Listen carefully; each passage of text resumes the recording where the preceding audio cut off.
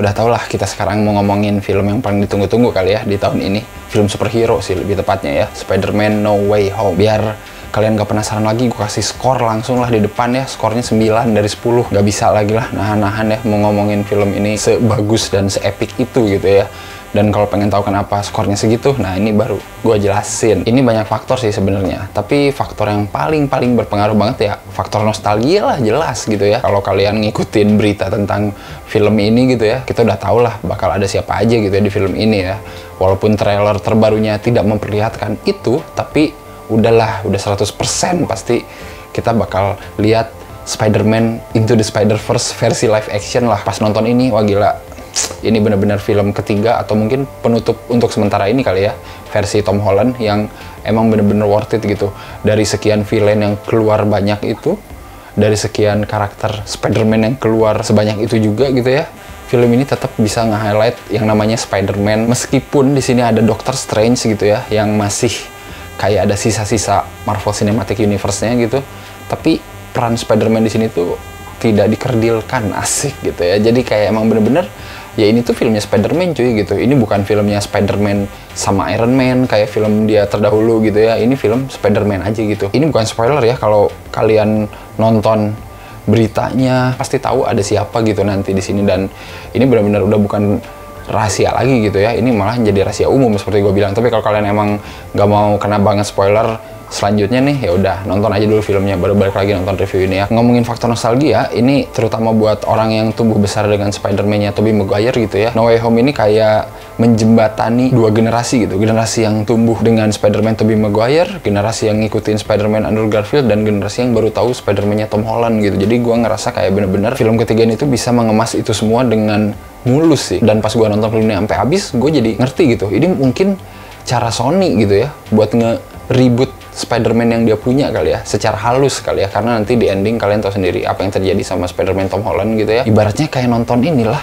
X-Men Days of Future Past gitu. Jadi kayak ada cara buat nge-tweak biar gimana ceritanya itu fresh lagi gitu dari awal, tapi tanpa menghilangkan apa-apa yang sudah dilewati gitu di tiga film ini gitu. Dan itu menurut gue cukup pinter sih, dijamin bikin penonton yang tahu Spider-Man Tobey Maguire, Andrew Garfield pada teriak-teriak di bioskop. Anyway beneran ya. Tadi pas gua nonton di bioskop pada teriak-teriak sih pas momen itu ada gitu. Dan pada mewek sih. Gua pribadi mengucurkan air mata cuy. Gila anjir gila. Tapi Maguire itu gila pahlawan gua banget cuy. Gila dulu Spider-Man 2 ya terutama gitu ya. Di sini tuh dia ada lagi gitu ya dengan muka yang masih sama tapi udah kelihatan berumur gitu ya. Pas ngelihat itu keluar tuh kayak ah gua udah kayak mau loncat anjir tadi dari kursi. Pokoknya edan-edanan lah. Kalau Andrew Garfield sebaliknya ya penampilan dia yang dulu sama sekarang itu sebenarnya nggak jauh beda gitu ya. Jadi kayak emang dia masih muda gitu ya dan emang masih fresh juga kan mukanya. Jadi kayak ya masih oke okay lah masih masuk gitu ya. Terus gue suka sama tema film ini sih sebenarnya ya. Secara garis besar ini tuh kayak film yang ngasih kesempatan kedua buat tiap karakternya gitu ya. Peter Parker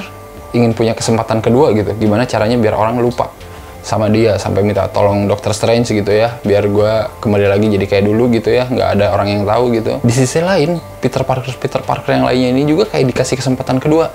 Villainnya pun kayak dikasih kesempatan kedua dan itu tuh kata gue bener-bener sangat menyentuh aja sih gitu ya. Karena kita tahu kan kalau lu nonton Spider-Man yang dulu gitu Spider-Man Tobey Maguire terutama gitu ya villain-villainnya itu kan bener-bener orang-orang yang sebenarnya nggak pure jahat gitu ya. Kayak Green Goblin kayak Dokter Octopus gitu ya kayak Sandman terus even Electro sama Lizard juga kan sama gitu ya. Mereka ini orang-orang yang kayak salah jalan aja gitu tersesat gitu. Dan di sini tuh kayak dikasih kesempatan kedua itu kata gue cukup oke okay sih. Gue terharu sih asli. Maksudnya dulu tuh urusan Peter Parker sama Dokter Octopus gitu terutama dia tuh kan pengen nolongin dia banget gitu ya. Gagal gitu. Keburu mati Dokter Octopus kan yang mengorbankan diri gitu ya. Secara teknis kan mengorbankan diri kan. Dan di sini tuh kayak dibayar gitu itu tuh. Kayak bener-bener dokter otopus itu masih dapat kesempatan kedua. Kalau lu tuh bisa sembuh bisa balik lagi gitu bisa berfungsi normal lagi gitu. Si tentakel tentakelnya tanpa mempengaruhi pikiran lu di sini tuh momen itu tuh bener-bener anjir gila men. Terharu sih gue asli. Kayak tadi tuh pengen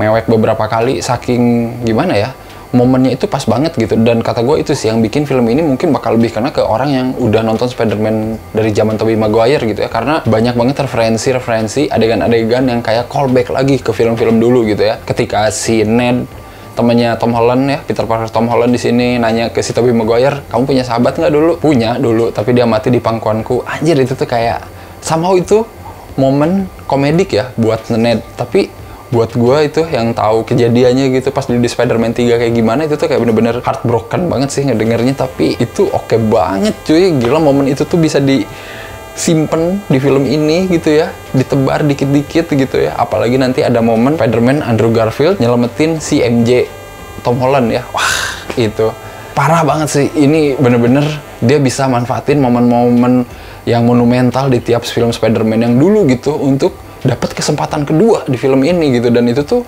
bener-bener sebuah apa ya penghargaan sebuah tribut yang kata gue sangat-sangat indah sih gila. Udahlah ini momen Avenger Endgame aja kayaknya selevel sih kalau buat gue pribadi ya. Karena momen nostalgianya di sini kuat banget gitu. Dan beberapa callbacknya itu bener-bener bikin gue kayak anjir men gila. Kekurangan-kekurangan di film ini tuh pasti ketutupin sih sama rasa-rasa nostalgia itu. Karena nggak ada yang bisa ngalahin momen nostalgia itu gitu ya. Walaupun di satu sisi gue banyak kayak berharap gitu ya satu Jonah J. Jameson misalkan ya di sini diperankan oleh aktor yang sama yang main di Spider-Man-nya Tobey Maguire tapi di sini menurut gue jadi kayak cuman tempelan doang ya kurang memorable justru buat gue gitu walaupun menarik ya detailnya dia berangkat dari sebuah media online gitu sekarang jadi kayak bener-bener peremajaan dengan masa sekarang banget gitu ya berangkat dari media online syutingnya di awal sendirian gitu ya pakai green screen lama-lama jadi ada di studio gitu ya tapi fungsinya J.K. Simmons di sini menurut gue jadi kayak nggak terlalu besar juga gitu buat keseluruhan cerita sementara kita tahu J.K. Simmons di film Spider-Man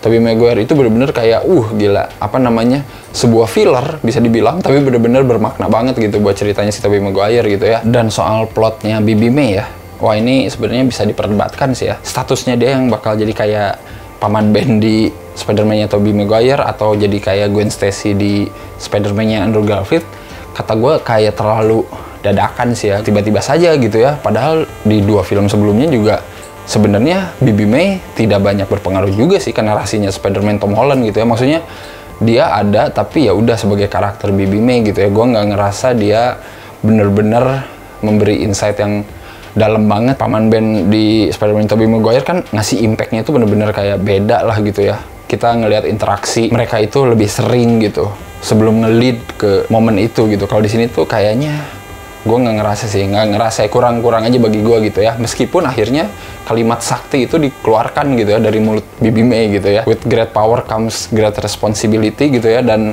akhirnya dari situ juga jadi motif gimana Spider-Man bertanggung jawab gitu ya atas tindakannya. Itu momen yang oke okay. kejadian sebelum itu juga ngingetin sama Spider-Man Tobey Maguire ya ketika Green Goblin nyerang Bibi May yang di film dulu kan dari belakang jebret gitu hancur. Di sini juga sama kan sebenarnya posisinya. Dari belakang jebret hancur bedanya die gitu ya. Dan tentunya mungkin karena yang emang di highlight adalah gimana akhirnya para Spider-Man ini ketemu momen mereka pengen memperbaiki para villain ini dalam artian menyembuhkan ini kata gue itu bisa dibilang terlalu cepat juga. Gue tahu cara nyembuhin Norman Osborn gue tahu cara nyembuhin Lizard gitu gue tahu cara nyembuhin si ini si ini si itu gitu. Semuanya itu kayak wow gitu. Kayak ya udah yang penting jadi gitu ya. Apalagi tiba-tiba ada reaktornya Tony Stark gitu ya di apartemennya itu gitu kayak bener-bener di planting ya udah biar ada di situ gitu ya. Tapi ya udahlah ya itu kan gimana caranya biar plot tetap berjalan ya. Untungnya ketutupan sama interaksi para karakter Spider-Man di sini gitu yang emang bener-bener kayak baru ketemu dan saling ngobrolin gitu satu sama lain. Ada apa nih? Lu gimana di dunia lu? Gua gimana di sini gitu. Itu tuh seru aja sih gitu. Itu bener-bener interaksi yang Spider-Man Into the Spider-Verse yang jadi nyata ini sih asli parah. Dan film ini kata gue berakhir dengan cukup fair sih ya. Dan itu mungkin yang gue suka yang tadi disebut di awal ya kayak fresh start lagi gitu. Di sini orang lupa Peter Parker siapa lupa Spider-Man yang mana. Terus dia sekarang sebatang kara nyawa apartemen jelek gitu ya. Dan ngejahit bajunya sendiri dan jadi Spider-Man sendiri gitu ya. Jadi kayak ngebalikin lagi ke memori ya dulu gimana Spider-Man Tobey Maguire hidup sendiri gitu ya. Ini bisa jadi fresh start sih. Jadi mungkin nanti kalau Sony mau bikin lagi film Spider-Man dengan Tom Holland ya ceritanya ya udah bisa bener-bener Spider-Man aja gitu dengan karakter-karakternya di dunia Spider-Man. Gak usah lagi berhubungan dengan MCU ya walaupun ya pasti bakal ada pertanyaan sih. Apalagi diakhiri dengan after credit scene pertama ya yang kalian mungkin udah nonton Venom versus Carnage yang terakhir kemarin gitu ya akan tahu kan apa yang terjadi. Sebenarnya itu juga bagus sih. Jadi kayak buat bridging gitu ya Venom itu bisa gitu ada di sini. Caranya gimana? Ya itu dia. Terima kasih multiverse. Believe the hype lah kalau kata orang-orang mah. Jadi kalau kata orang ini keren, emang keren anjir. Ini tuh emang bener-bener keren dan bakal lebih keren lagi buat orang yang udah nonton Spider-Man dari Tobey Maguire, Andrew Garfield sampai ini gitu ya bener-bener makin keren asli. Sangat magis aja sih momennya gitu. Jadi emang bener-bener udah nggak bisa dikalahkan gitu ya momen itu. Silahkan cobain nonton, durasi panjang tapi bener-bener worth it dan menurut gue ini adalah salah satu film Spider-Man terbaik sih setelah Spider-Man 2 ya. Komen juga menurut kalian hal menarik apalagi yang bisa ditemuin di film Spider-Man No Way Home ini. Gue yakin sih banyak easter egg easter egg ya. Seperti biasa jangan lupa like, share, subscribe dan ya udah silakan nonton Spider-Man No Way Home dan balik lagi ke sini kalau udah nonton dan silakan kita diskusi aja. Oke, okay, sampai ketemu lagi di video-video berikutnya. Bye bye.